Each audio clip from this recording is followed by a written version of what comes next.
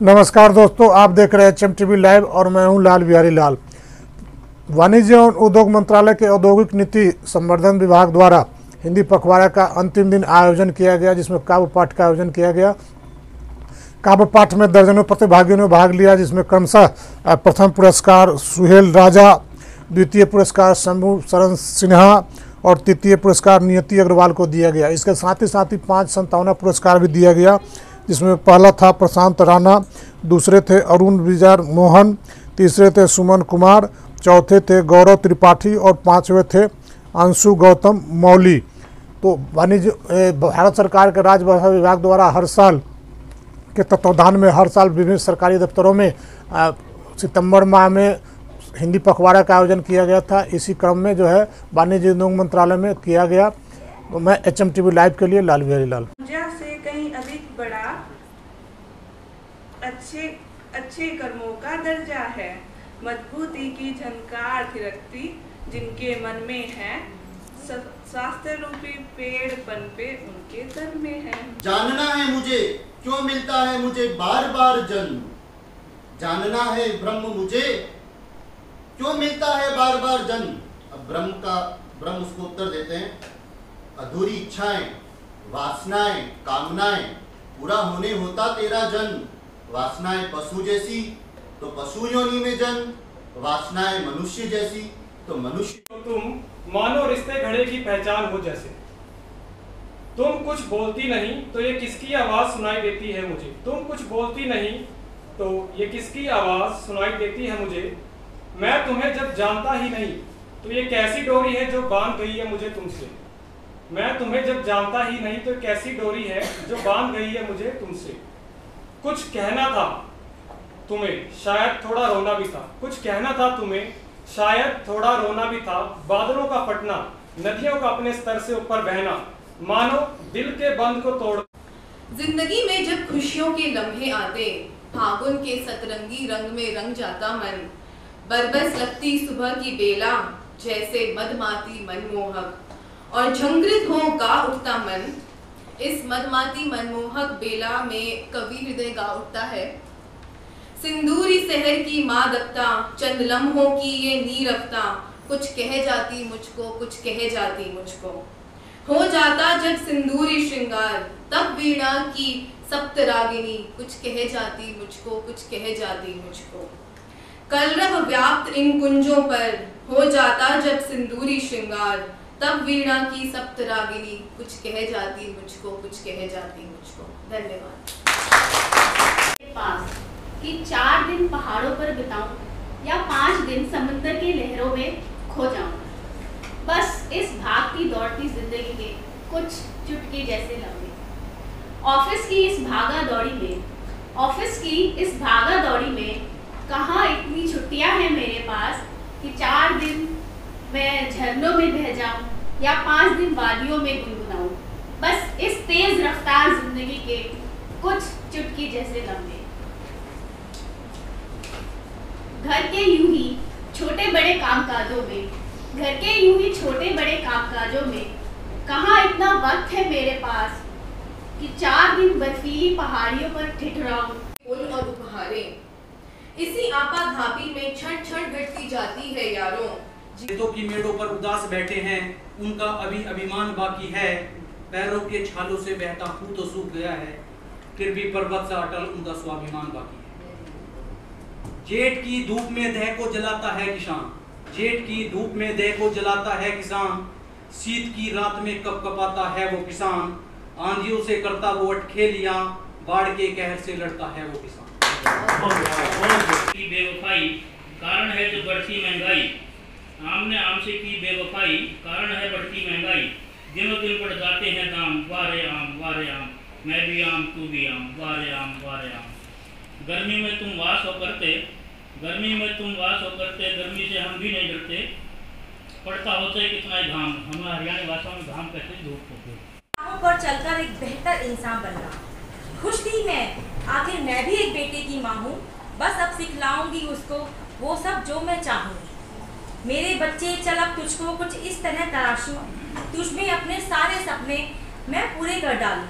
पर आज तुझे जब मैंने खिलखिल के हँसते जुट गए दोनों एक एक प्लास्टिक की पाइप लेकर। पकड़ा पकड़ी का लुत्फ उन्होंने अर्श से बाद उठाया। चूहे का तो पता नहीं बाकी सभी कर्मचारियों को कमरे से बाहर भगाया। चढ़े जैसे ही कुर्सी पे डर के कुर्सी का एक हाथ निकल आया। अब हाथ को लगाने और कुर्सी बदलवाने। जब हमने जीए में फिर फ़ोन घुमाया, लिख के दे दो एक नोट वहाँ से फिर वही जवाब आया।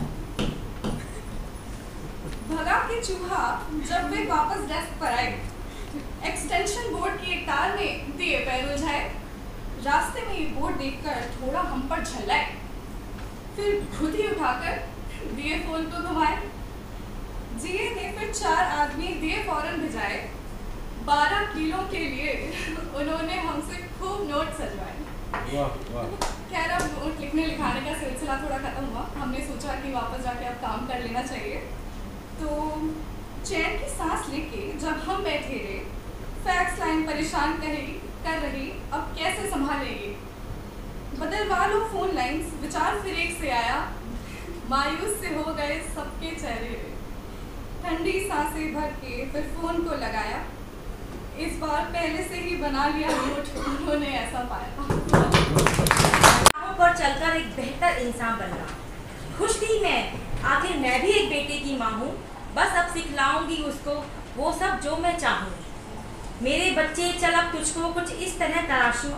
तुझमें अपने सारे सपने मैं पूरे कर डालूं।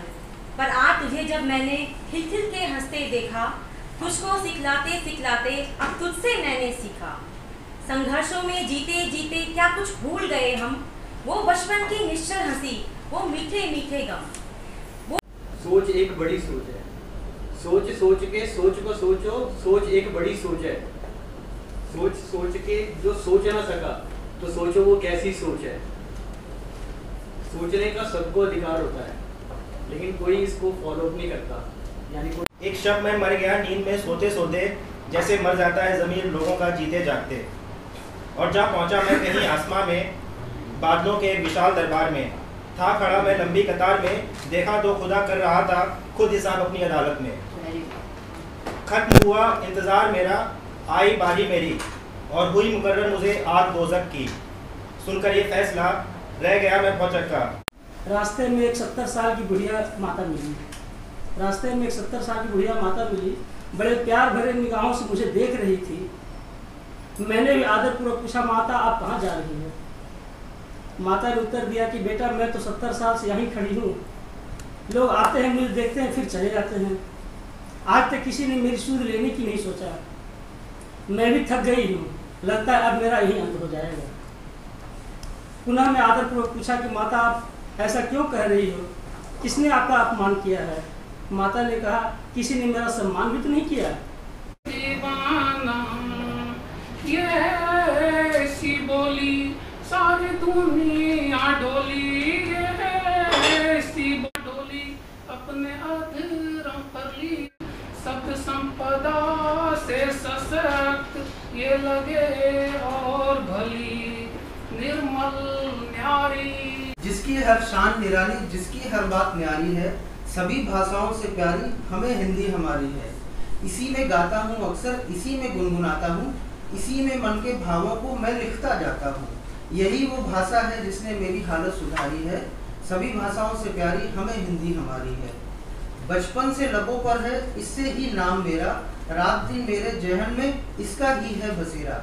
ये देवी है भाषाओं की, हर कोई इसका पुजारी है।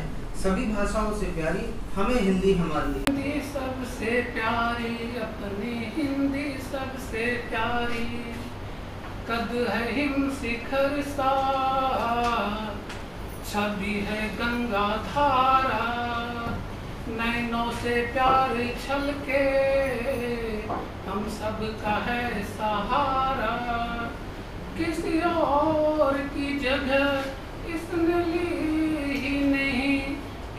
और की तरफ़ इसने देखी नहीं। जिसे माने यहाँ सारे खामोश रह गए पितामह। द्रौपदी के करुण पुकार को ठिठक ठिठक सह गए पितामह। कहाँ गई वो रणभेरी, जिसके गर्जन से कांपता था अंबर? कहाँ गई वो औजसवाणी जिसके प्रस्फुटन से लाया था नंबर? आज ज़रूरत थी उसी औज की, जो एक साहस तुम दिखलाते तो एक करके द्रौपदी के प... विश्व पटल पर पूछ हो रही, विश्व पटल पर पूछ हो रही, जिसकी वो महान है। विश्व पटल पर पूछ हो रही, जिसकी वो महान है, और नहीं कोई, और नहीं कोई देश वो मेरा कहलाता हिंदुस्तान है। और नहीं कोई देश वो मेरा कहलाता हिंदुस्तान है। ऋषि मुनियों की धरती है ये। ऋषि मुनियों की धरती है ये, संस्कारों से पहचान है। शून्य की खोज करी है इसने। तुम मुझको कब तक रोकोगे तुम मुझको कब तक रोकोगे इस जग में जितने जुल्म नहीं, उतने सहने की ताकत है। तानों के शोर भी रहकर मुझे सच कहने की आदत है। इस जग में जितने जुल्म नहीं, उतना सहने की ताकत है। तानों के भी शोर में रहकर सच कहने की आदत है। मैं वो गहरा सागर हूँ। कब तक कंकड़ फेंकोगे? मैं वो गहरा सागर हूँ। कब तक कंकड़ फेंकोगे? चुन चुन कर आगे बढ़ूँगा। तुम मुझको कब तक रोकोगे? तुम मुझको कब तक रोकोगे? जो सेहत पे है, आजकल आम भागम भाग की ज़िंदगी में सेहत से लोग काफ़ी परेशान है। कोई ऐसा नहीं है जिसके घर में मतलब बीमारियाँ नहीं आती हैं। खान पान की कमी से रोज बीमारी हो खान पान की कमी से रोज बीमारी हो। खाना खाओ, समय पर रोग कभी ना हो रे लाल, रोग कभी ना हो। रात को सोना जल्दी, सुबह करो ना देर। रात को सोना जल्दी, सुबह करो ना देर। वरना कोई बीमारी लेगा तुमको घेर लाल, लेगा तुमको घेर हाथ खाने से पहले, मुँह खाने के बाद। हाथ खाने से पहले, मुँह खाने के बाद। निस्दिन धोना सीख लो, जीव रहे आबाद लाल, जीव रहे आबाद मेहनत करना सीख लो, रहे बीमारी दूर। मेहनत करना सीख लो, रहे बीमारी दूर। जीवन में आनंद लाल, काया सुख भरपूर लाल, काया सुख भरपूर।